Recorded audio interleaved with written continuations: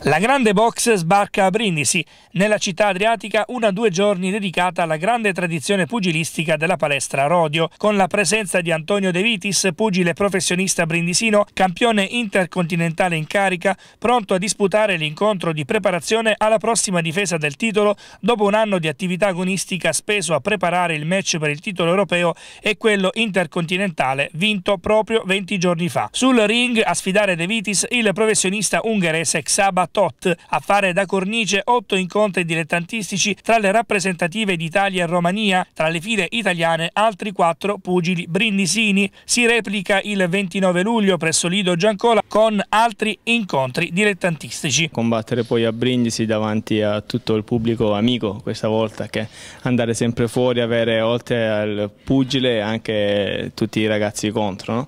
Però va bene, lì sopra si è in due, però diciamo che quando combatti in casa con tutto il pubblico pubblico e il calore è più bello. Combatti contro un ragazzo ungherese, la preparazione a, questa, a questo match come la vedi? Ma diciamo come preparazione ho vinto il titolo neanche 20 giorni fa, domani 20 giorni, il 7 luglio, perciò la preparazione ormai era già dentro, perciò abbiamo solo mantenuto il peso e tenuta la preparazione. Io rappresento oggi l'ultima generazione di tecnici sportivi della pugilistica Rodio, con i quali collabora anche Lino Mazza e Fabio Pignataro e diciamo sono cresciuto in questa palestra che ha una lunga storia. La storia nasce nel 1938 quando è stata fondata e dopo una serie di campioni oggi abbiamo Antonio De Vitis, l'ultimo diciamo, baluardo di questa società che ha conquistato già questo al quinto titolo, il titolo intercontinentale.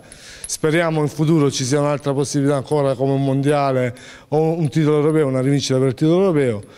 Naturalmente Antonio si è allenato al meglio in questo periodo perché aveva appunto questo impegno per il titolo intercontinentale, oggi ha mantenuto una, forma tranquilla, perfetta per affrontare questo match a Brindisi che non sarà altro che un match di rodaggio e preparazione al prossimo, alla prossima difesa del titolo intercontinentale. Facciamo un in bocca al lupo Antonio e ci vediamo domani 27 in piazza Legno Flacco.